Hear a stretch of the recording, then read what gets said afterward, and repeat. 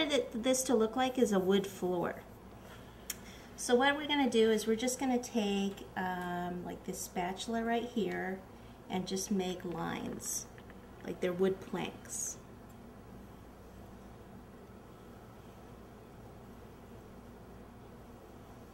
Okay, and then we need some to go the other way.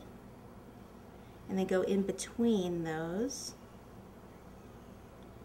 See how we're getting the wood flooring?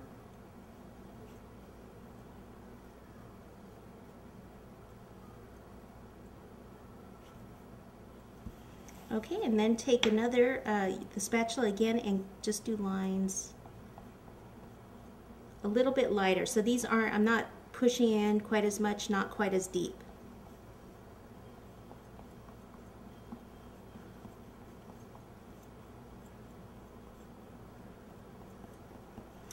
And this is a tip number, let's see, it's a tip number three. And I just want to make little holes where the nail holes would be. So I'm just pressing down and using this as an embosser.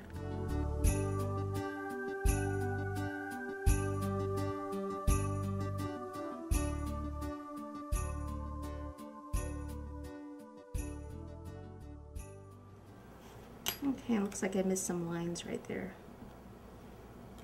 Okay. Oops, missed some here. It's funny, I always do that, you know, when you look back and you go, oh, I missed this little thing. Okay, perfect. It's ready to paint. So I've got just some brown food coloring right here and a brush. And I just dip my brush in the water slightly and then just brush it over the top.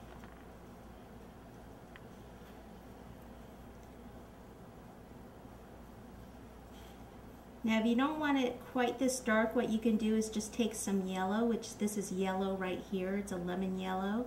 Take some of that and brush that in and it'll lighten it up.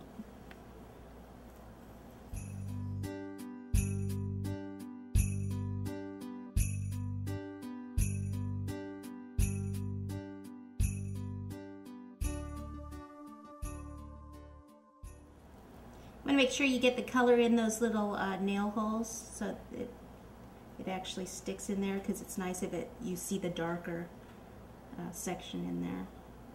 Like right here it's too light in there. I didn't get the food color down in there so make sure you do that. On the edges it's easier to brush from the, the edge like I'm doing in. And then just make sure that your brush marks go the same direction as the wood. You know, I don't want to brush it the opposite direction.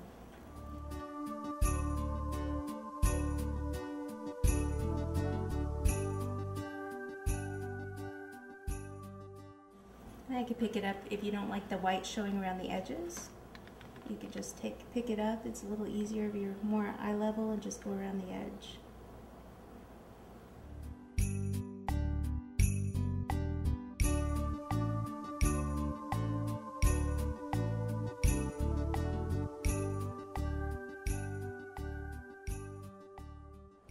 Okay, and then I'll have to go back over where I messed that part up around the edge. Okay, and there's our base. That's all ready.